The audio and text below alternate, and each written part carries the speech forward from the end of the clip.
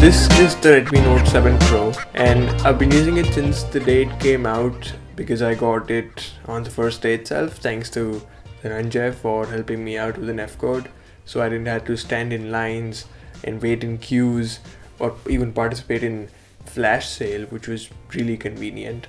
But since this is the pro version of the Note 7 uh, this has almost throughout slightly upgraded hardware internally like uh, you know better processor more ram more storage but most importantly the camera.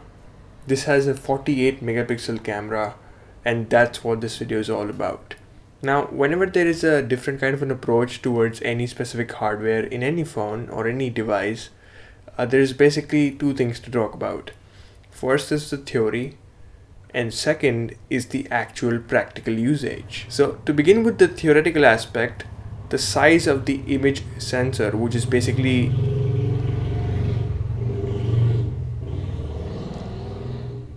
the brain of the camera is directly proportional to the quality of the image. Uh, the bigger the image sensor, the better the quality of the image. The Note 7 Pro has a Sony IMX586 sensor and it is a bigger sensor because at least when compared to the Note 7 because both the Note 7 Pro and the Note 7 are equally thick. Pretty thick at about 8 millimeters but the camera bump the camera actually sticks out way more in the Note 7 Pro which clearly says it has a bigger camera. But even though it's a bigger camera, it's still pretty small because after all it's made for a phone. So when 48 megapixels, meaning 48 million pixels are fitted in such a tiny sensor, the size of each pixel reduces by about 4 times uh, when compared to the size of the pixel in a similarly sized 12 megapixel sensor. This does not allow a lot of light to enter. That's why HTC in 2013 reduced the megapixel count to just 4 megapixels in the camera of HTC One and that's why Sony reduced the megapixel count to just 12 megapixels in the A7S II for better low light photography.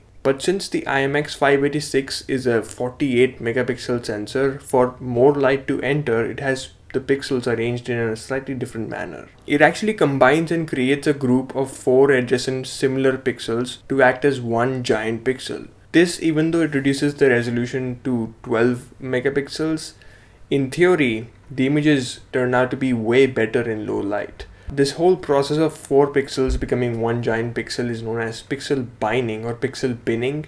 So my guess is that when since this always shoots in 12 megapixels in the default standard mode this has pixel binding always turned on. And when you switch to the 48 megapixel mode this disables the pixel binding for all the pixels to unleash for those high resolution shots. But this is all theoretical does it actually do that? Does it actually is there any difference?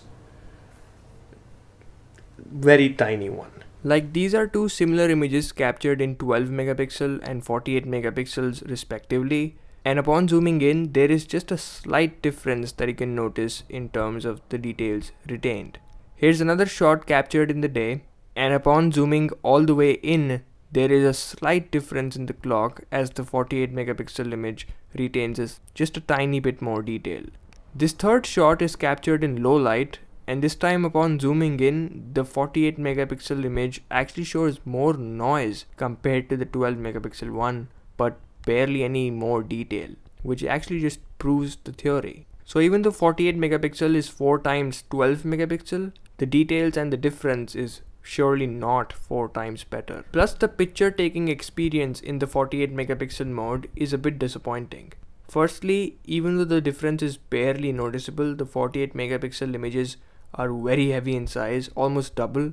Secondly, you cannot use HDR or AI controls or shoot videos or even take portrait images in 48 megapixel. Lastly, it's just not very convenient because it takes a good chunk of time for the images to process and while they process, the camera app is almost unresponsive. For me, once it actually stopped working, so I literally had to reboot the phone to get it to work. The only plus point that I saw in taking 48 megapixel shots over the 12 megapixel ones is that you get to zoom in much more on the phone to actually a crazy length. But apart from that, the massive delay in processing and not much difference don't really make it appealing. Although it doesn't take away from the fact that the camera performance in general is really impressive, with really good details in even in 12 megapixel. If you know about angles, framing, or even have a basic knowledge of photography, you can capture some terrific shots from this camera. And if you don't, you can simply join a short course on the web itself on Skillshare, which although is pretty affordable at about less than $10 a month, but with the link in the description, the first 500 of you can join for the first two months completely free. There are hundreds and thousands of classes to choose from to develop a skill set, and all of these classes are to the point and just a couple of minutes long, like this photography one from Joe, which I'll actually recommend you to start up with. Make sure to check it out, I'll leave it linked below. But talking about the camera performance, I think it has been pretty consistent in creating really balanced and great looking shots. I was really impressed by the dynamic range especially. Like in this shot, the sky is not blown out and the underside of the flyover is not completely dark. And this was shot in 48 megapixels. The balance between the shadows and the highlights is almost always really soothing to the eyes. Now, the saturation and the contrast are subjective and can be edited, but straight out of the camera, it is not too harsh and not too dull as the iPhone, so it's pretty balanced and I like it. The shots in low light definitely take a hit. There is, if you zoom in, a good amount of noise and a lack of detail, even in 48 megapixel shots. It does have a night mode built in, but I would highly recommend not using it because it's really good at being bad and yielding terrible results. But then there is video. Now this can finally shoot in 4K at 30 frames per second and it does have software based stabilization. No OIS which is hardware based but that's okay because the video part actually came as a surprise. It not only is really crisp but the colors are also really appealing to the eyes. It's almost as if it's already shooting in a pre-applied LUT or a color grade.